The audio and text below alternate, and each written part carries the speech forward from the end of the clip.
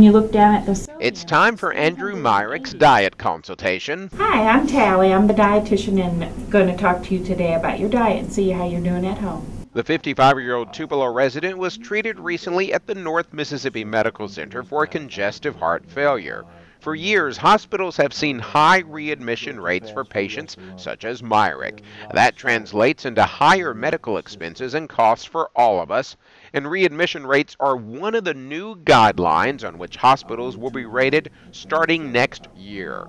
That's why doctors at NMMC have launched the Self Care College. So instead of uh, passive learning where we'd give them a book or a pamphlet, we actually watch the patient do these acts weighing themselves, asking what they eat, watch them plan their medications. And if they can't do a, a task, then we can allocate resources to ensure that they are able to do that. At the Self Care College, patients receive guidance from a dietitian, a pharmacist, and they also register in a four week callback program.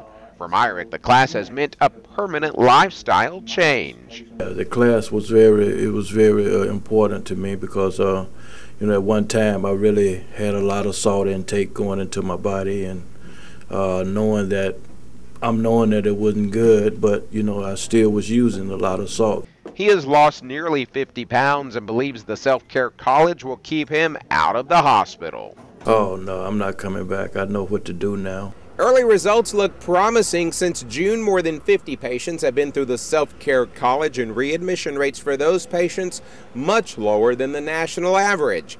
Indeed, those results are capturing the attention of many in the medical community in this day and age of skyrocketing health care costs. In Tupelo, I'm Allie Martin, WCBI News.